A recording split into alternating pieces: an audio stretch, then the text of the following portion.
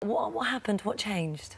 Well, you know, I spent four months in the hospital after uh, Wimbledon. I went straight away to um, to Italy to sort of um, starting to have some treatment. They couldn't really treat me there, but they were able to really diagnose what was wrong, and there was really something massively wrong with uh, my uh, my body. I, I, really caught a really nasty virus back in India in February that got into my blood system, and from there it was really a point of no return. So um, it was I was really on the brink of really dying during Wimbledon, oh and yeah, when I actually entered the hospital in Paris, I mean the doctor were actually shocked uh, that I was still alive because my my blood results were just so horrendous that um, they didn't know how I found the strength to just um, you know keep it on going and and living for those uh, few uh, weeks and when I was in Wimbledon. So um, it was really a bit of a shock for me, you know, to because obviously I knew it was bad, but I didn't sort of knew it was that bad in yeah. a way.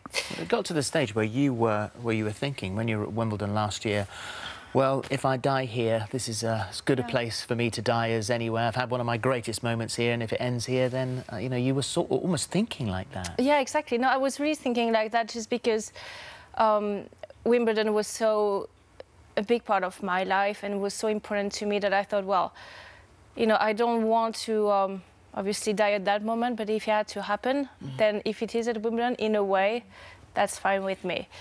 But it was it was just at 31 years of age, you know, three years before I was a Wimbledon champion, lifting that trophy, winning seven matches in a row without dropping a set, and here I am three years later, um, on the brink of dying, and and really couldn't have a sort of a positive echo from the people yeah. outside just because all of them were thinking, well, she's anorexic, so in a way, that's her problem, and that's not really something we can help with.